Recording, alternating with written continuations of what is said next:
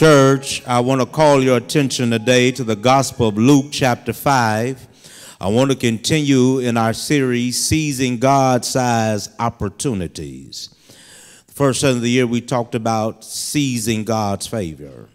Last week, we endeavored to talk about seizing with divine imagination.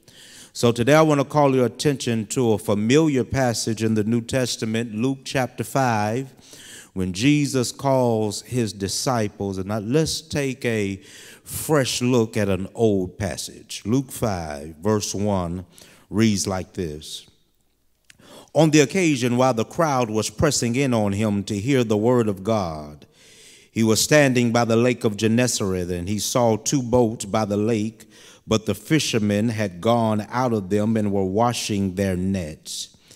Getting into one of the boats, which was Simon's, he asked him, Put out a little from the land.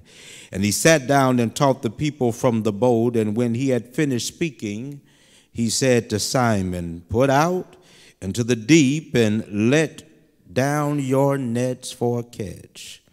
And Simon answered, Master, we toiled all night and took nothing. But at your word, I will let down the nets. And when they had done this, they enclosed a large number of fish, and their nets were breaking. They signaled to their partners in the other boats to come and help them, and they came and filled both of the boats so that they began to sink. But when Simon Peter saw it, he fell down at Jesus' knees, saying, Depart from me, for I am a sinful man.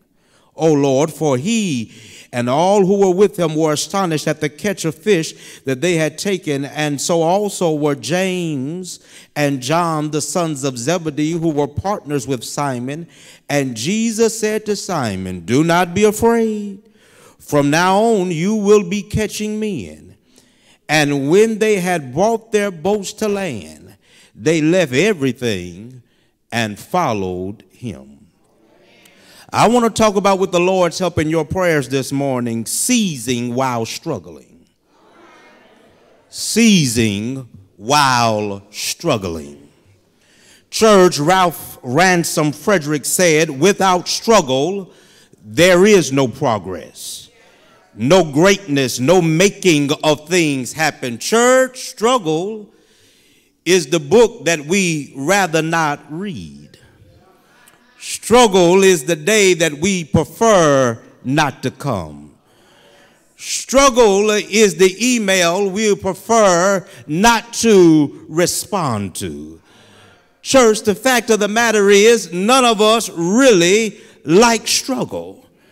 Struggle is inconvenient. Struggle is often intimidating, and oftentimes it is downright exacerbating. It takes our energy level down and also has a tendency, if we're not careful, it can dash our hopes and our expectations. But many of us who have watched the lives of individuals know that even through struggle, great things have been birthed. Oftentimes, some of the best songs have been composed from a heart that's in struggle. Oftentimes, great businesses have been launched after individuals uh, have been laid off or fired from a job. Oftentimes, individuals have ascended and found themselves in the lofty heights of promotion because they have gone through the turmoil of struggle. But, church, can we be honest? Many of us normalize and try to live life avoiding struggle. Talk, talk to me. We try to insulate ourselves. We try to prepare ourselves in a way so we don't have to struggle because we're trying to avoid that at all costs. And when someone begins to struggle, we often put on our sanctified hats and start believing that there is something wrong with them or their situation. But may I park here parenthetically for a moment and suggest to you that oftentimes struggle is the first and final step to success. Sometimes God employs struggle in our lives to get us ready for our next assignment. That's the sovereignty of God that God can do whatever he wants to do when he gets ready to do it and God can take the very thing that frustrates you. God can take the very thing that seems to be crushing you. God can take the very thing that makes tears come out of your eyes and God can use that to catapult you to another level of success. Is there anyone here at this 8 o'clock service that can testify that it was through some struggles that God opened the door of success? And the word to us is we have to learn how to coexist with struggle. Who told you that you wouldn't struggle? Jesus said, in this life you will have trials and tribulations, but be of good cheer, for I have overcome the world. He told Simon, Simon, Simon, Satan desires to sift you, as we Job said it poetically, that man that's born of a woman in those few days are filled with trouble. Struggle is a part of the common core curriculum of life. And God has a way of using that, using that for his glory and for us to be in his service. Listen, this text is a prime example of how struggle can open the door to success. Here we have Jesus who now stands on the banks of the lake of Gennesaret. The lake of Gennesaret is simultaneously tied to this term called the Sea of Galilee in the New Testament. It is an interesting piece of water because all of the cities that surrounded it, this was a fishing enterprise. This was a fishing area. Fishing was the driving force of the economy. So much so that the neighboring cities around this body of water, their names was associated with fishing. This, this lake is eight miles wide, 13 miles long. It is a small lake, if you will, but they called it the Sea of Galilee. And Jesus stands on the bank and he sees Simon and those struggling. And Jesus looks at them in the midst of their struggle and says, I'm going to recycle your struggle for my glory. That's what I want to tell somebody. Oftentimes, when God comes to us, it's in a time when we don't have it all together. But listen, the word is as long as you're doing something, God can use you. God is in the business of using people who are doing something. Even if you're doing the wrong something, God says, I can still use you. And he comes to these fishermen, Simon and his crew, while they had been rejected. And Jesus says, now I want you to go out into deep water. This is the take home truth. I'm soon in my seat. God uses our personal struggles to catapult us to spiritual success. I said again, God uses our personal struggles to catapult us to spiritual purpose. D to do, avoid permitting times of strain to cause deafness to God's calling uh, towards spiritual significance. Listen, church, all I want to tell you is you have to be careful because sometimes while we're struggling, uh, we don't hear God as clearly as we should. But God, in the midst of our struggles, uh, have a way of calling us to a level of deeper spiritual significance. So this is the first thing I see in the text is this. God sees us in the midst of our struggles. Notice the text. Jesus is now standing on the banks of the lake Gennesaret. He's standing, he's watching them. These boys had been fishing all night long. They've been fishing all night long, but when Jesus sees them, their boats are unoccupied and they're washing their nets on the side of the bank. Listen, this is a, a strange view. Listen, they've been fishing all night. Listen, if they didn't catch any fish, there's no stability. They can't pay any bills. They are going home rejected and dejected. But Jesus sees them, and the text says that they are washing their nets. Can I push that for a minute? God sees them, God is looking at them. Jesus says it's something strange about this picture. But notice the text, they had fished all night. They had done everything they had known to do. They are they are sincere in their pursuit. Who am I talking to? All they have is the debris from the sea. Don't miss this. They have the tools for success, but no evidence of success. They got nets and a boat, but no fish. Who am I talking to? You tried your best, you've given it your all, but all you have is the debris of frustration.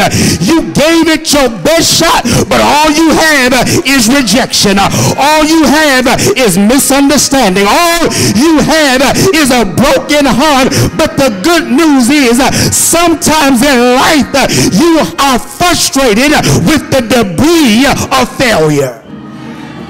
Who am I talking to today? I don't know who I'm talking to, but this is for people who've been through something. This is for people who have tried their best and given it their all, but all they have is the debris of frustration, the debris of a broken heart, and you are managing the frustration of failure. But I got good news for you. Though they didn't see Jesus, Jesus saw them. And that's a good word for somebody even when you're not looking in God's direction. God is always looking in your direction. He says, I see you in what you're going through. May I suggest to you today, that's one of the hardest things. When you frustrated and you got the tools, you went to school, and you still can't get a job.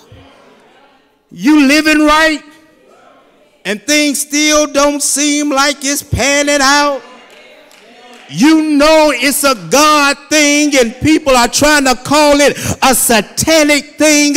Oftentimes we are left with the nets and the debris of the frustration of life. And sometimes we can become so preoccupied with the debris of frustration that we don't even see Jesus is looking at us. But can I tell you something? The good news is all the time when you're not looking in God's direction.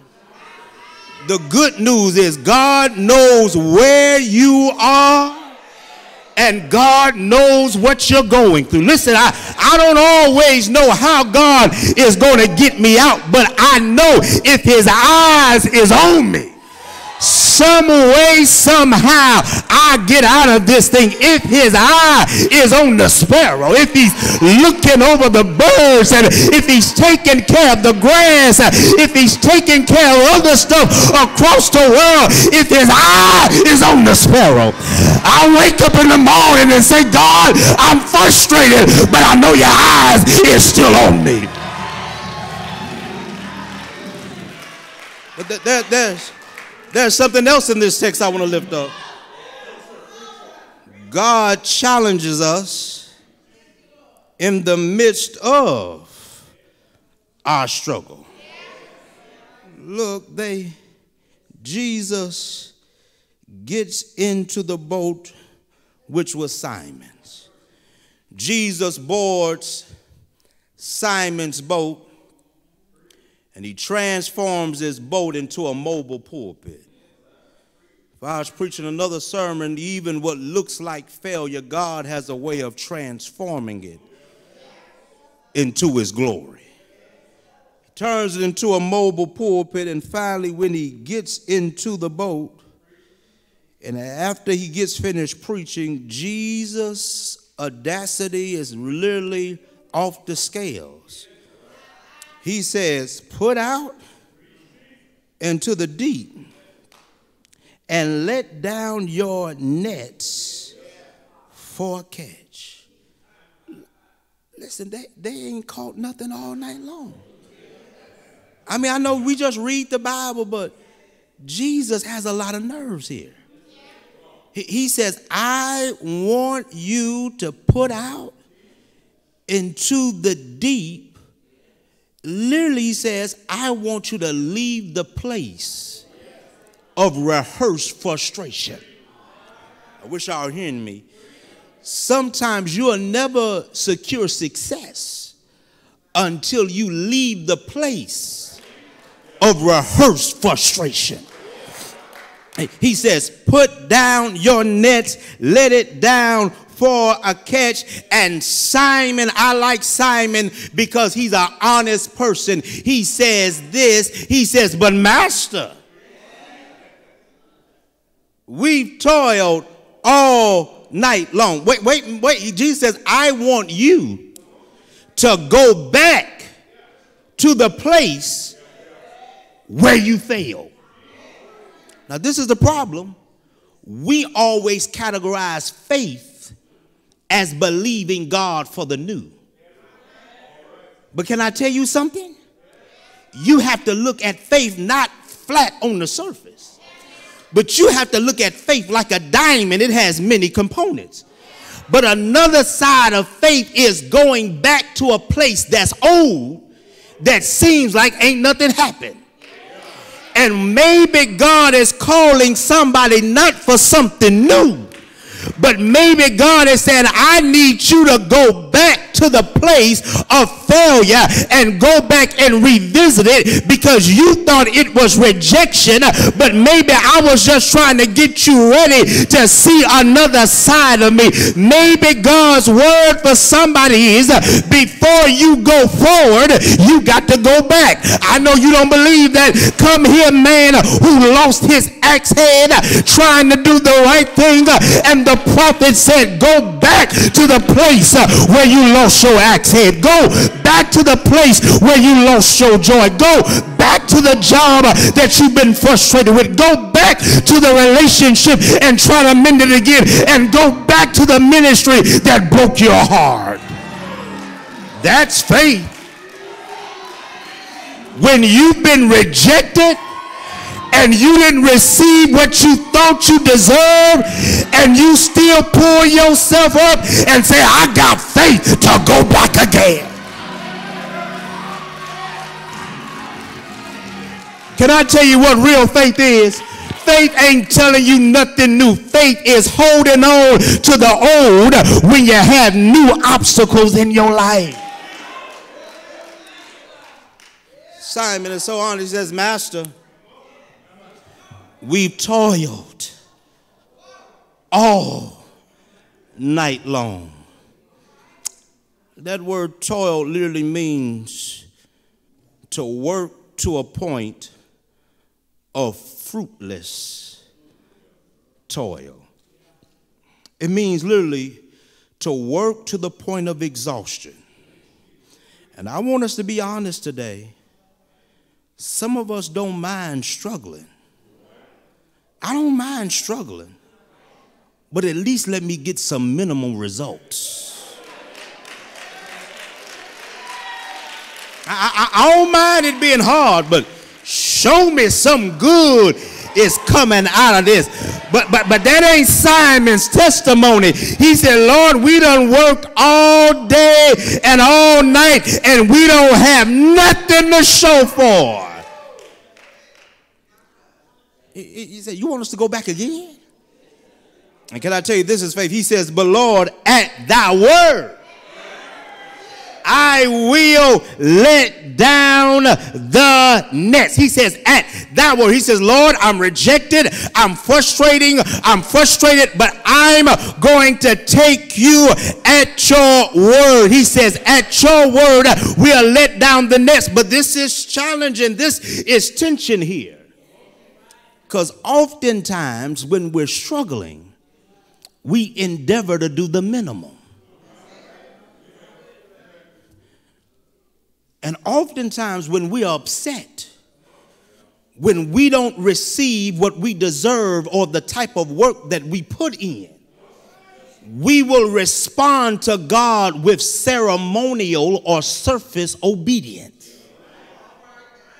God, I'm just going to do enough.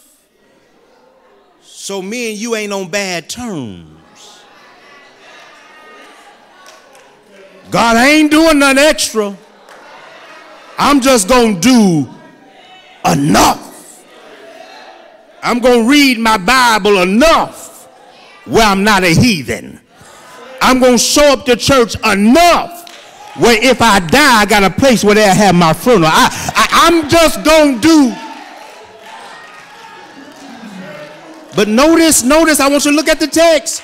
Peter does not respond with surface obedience. He says, Lord, at thy word, it's in the plural. Look at the text. He says, I will let down the nets. All I came to tell you is this don't expect great blessings with minimal obedience. And the word is, God doesn't stop challenging you just because you're struggling. But maybe that's the time when God really wants to challenge you so he can strengthen and strengthen stretch your faith. Listen, God says, I have the right uh, and I have the audacity to call you to do more even when you're not getting uh, what you want. Uh, because what Peter does in verses 4 through 5 gets him ready to do what God wants him to do in verse 10. All I came to tell you is don't expect major success if you can't handle obedience in the midst of struggle.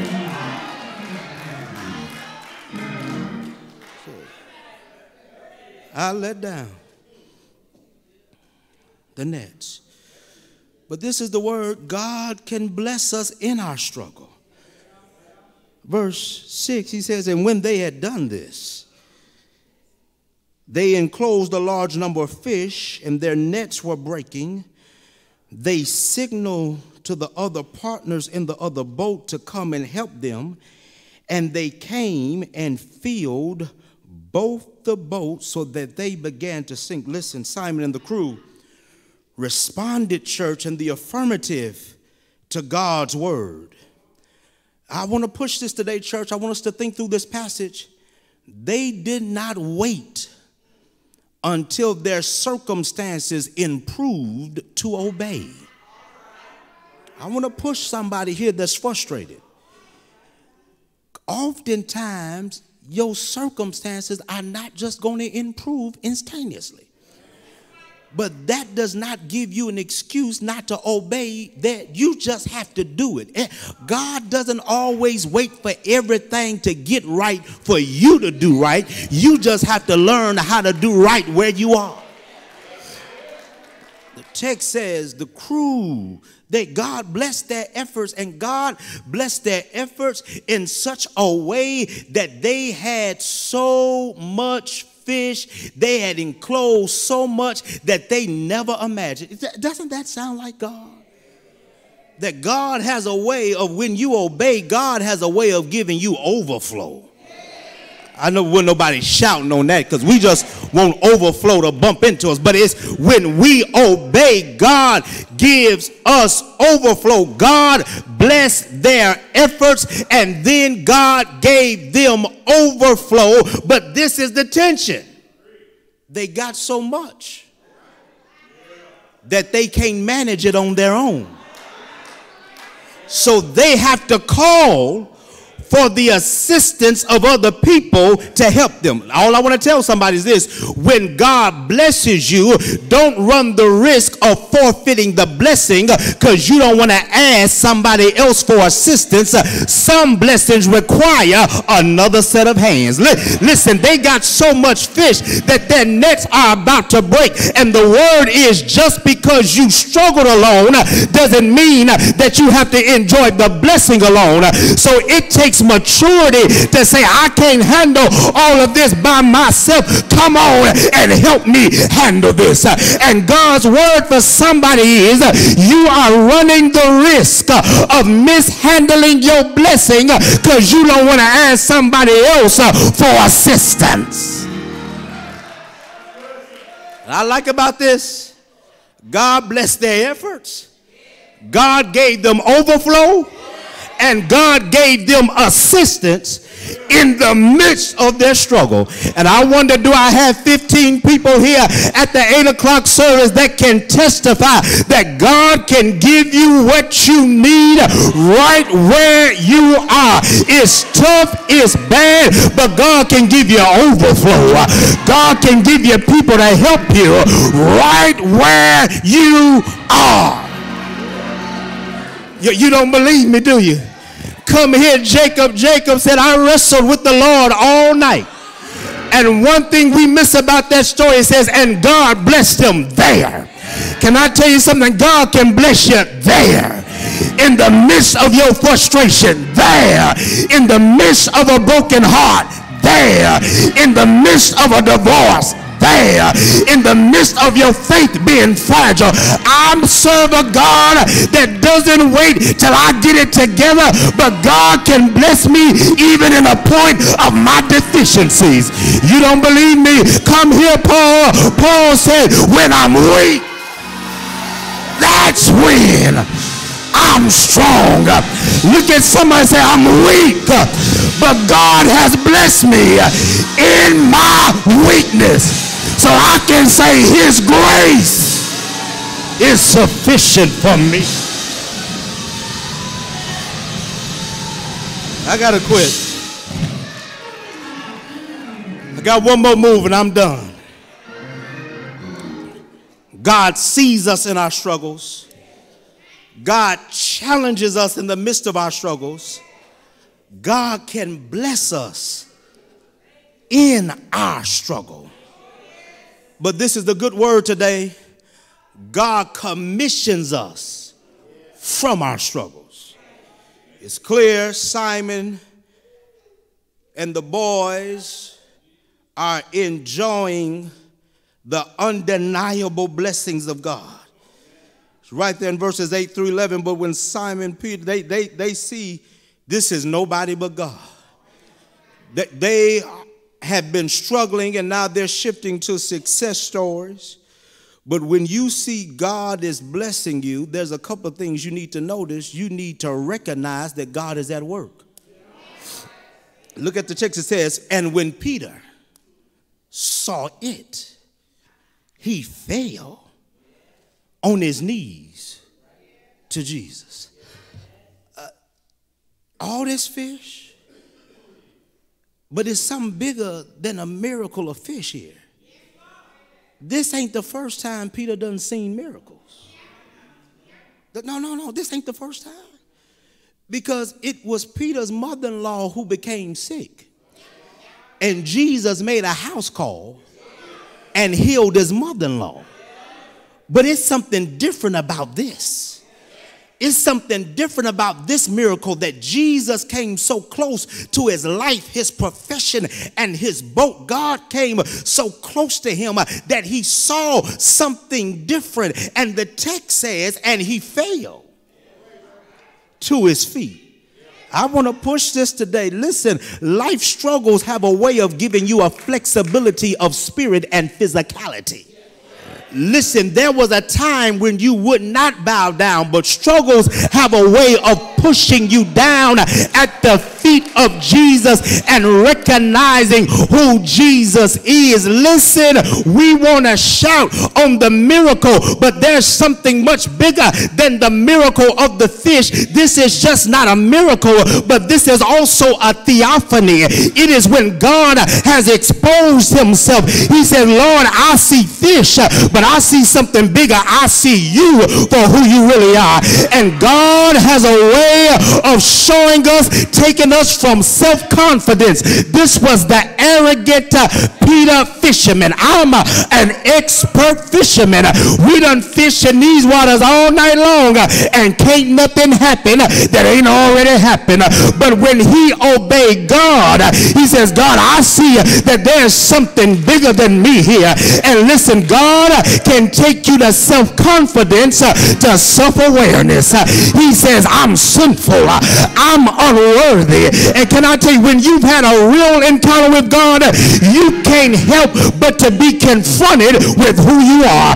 When you've really had a miracle, you can't help but to say, God, I ain't all that I think that I am. All I can say is like Isaiah, woe is me. I'm a man of unclean lips, and I dwell amongst an unclean people. Real miracles. Can I? I want to push this. Most of us, you want a miracle, but you really need a theophany. You want God to give you some stuff you want God to give you another job. You want God to give you a bigger house. But God says you don't need more stuff. You need to have an encounter with me that exposes you to my person and my power. And can I tell you, a big miracle don't mean nothing if you don't change for the better. And God says, I want you to know me. And that's what we got here in Peter. Peter says, God, I know you better. Then finally, we, we recognize that God is at work. But then the other piece is we're recruited from our struggles. Uh, look at the text. When he bows down in front of Jesus, Jesus tells him, Don't be afraid. Now you will be fishers of men. Church, they're all shocked. They're all beside themselves of what Jesus has done. But Jesus says, Listen, I got more work for you to do from this miracle. He, he says, You will be fishers of men. Listen, uh, th- this the, the first time we see this phrase is in Jeremiah 16 and 16 says, And you will catch men for judgment. That's negative. But Peter had been catching fish to kill them. But Jesus says, Now I have an alternative view I don't want you catching to kill. Now I want you to catch to keep folk alive. It's a difference in the Greek. Listen, he says, since I've taken you from struggle to a success story, I want you to show other people of what I can do when I catch their lives. All I want to tell you is this when God gives you success, the real measure of your success is if you help somebody else. That, that's all I came to tell you. That's when you know that you really season while you're struggling. Even while you're struggling, you can say, I'm going to help you while I'm helping me. Look at somebody and say, that's God's grace and mercy. And aren't you glad that God can take what was hard and what was harmful and God can use the very thing that almost shut you down, God can use that to give hope to somebody else. I ain't asked you to do it all day long, but just look at somebody and say, neighbor, I've been through some hard stuff, but maybe God took me through uh, so I can help you get out. I'm out of here like this. Amazing grace shall always be my song of praise. I ain't trying to go that far, but it was grace that bought my liberty. I don't know why he came to love me so, but he loved beyond my faults and saw my needs.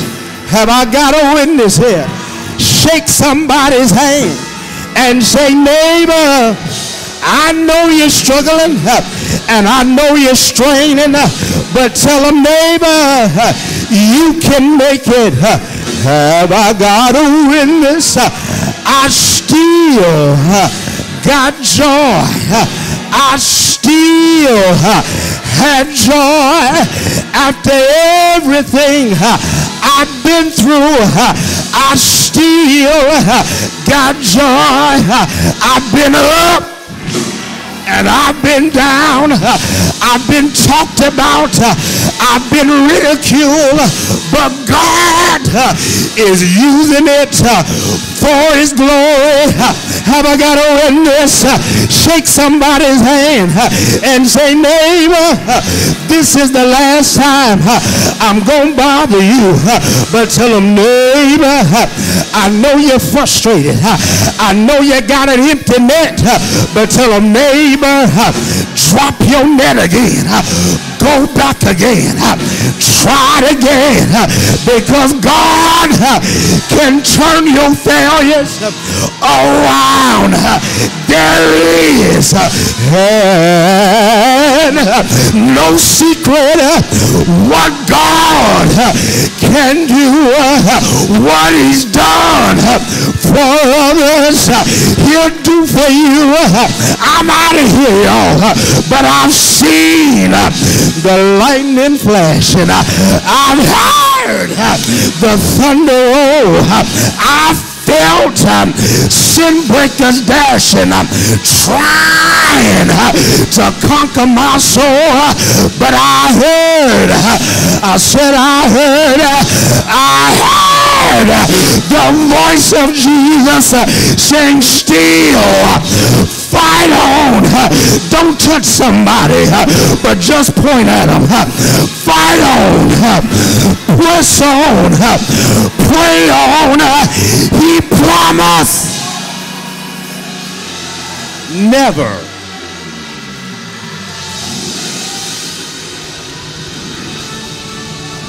to leave us. Listen, sometimes God doesn't get you out of struggle sometimes God leaves you in. But somebody can testify God can give you success in the midst of struggle. Listen, I want to talk to somebody today. You've been mad with God with where you are in life. But God has given you a miraculous catch at a place where you didn't even think you could be blessed some of us can testify God has blessed us in some strange places. Can I go other way? And God has blessed some of us in the midst of our pseudo arrogance. Oh, Simon was talking big trash to Jesus. I know what can be done. And finally, there was some God. He says, Lord, just at your word. Can I tell you, learn how to live life at God's word. At God's word. At God's command. And then God will let you recognize who He is. And then God recruits you from your struggle. That's what I want to tell you. God can use the very thing that has been frustrating you for his glory. For his glory. Today, if you're here unsaved, unchurched, today is a good day. So I want to be used. I want to be used for God's glory. There's nothing better